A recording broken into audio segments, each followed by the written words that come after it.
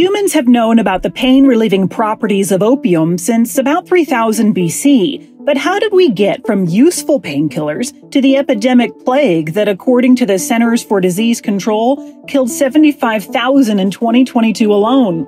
Well, it's complicated. Opium was being used by doctors to treat patients as early as 300 BC, but it wasn't until the 19th century that its medicinal use really took off. In 1810, Dr. Friedrich Serturner extracts morphine from the opium plant.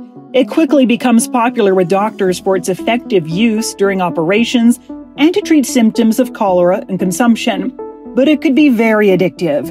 In 1895, scientists at the Bayer Company developed heroin, a synthesized form of morphine, which claimed to be a non addictive morphine substitute with fewer side effects. This proves to be untrue, and heroin addiction grows rapidly. In the years that followed, the medical community is undecided on the proper treatment of pain and other ailments.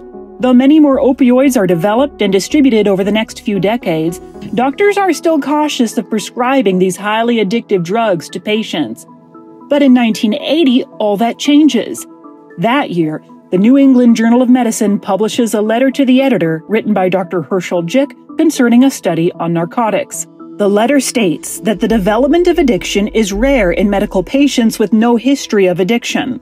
Although this was in reference to a small sample of patients in controlled environments, pharmaceutical companies started citing the letter evidence to support the distribution of their pain relievers. Along with these big pushes from pharmaceutical companies, there is an increased acknowledgement in the medical community that patients with chronic pain have been undertreated for years.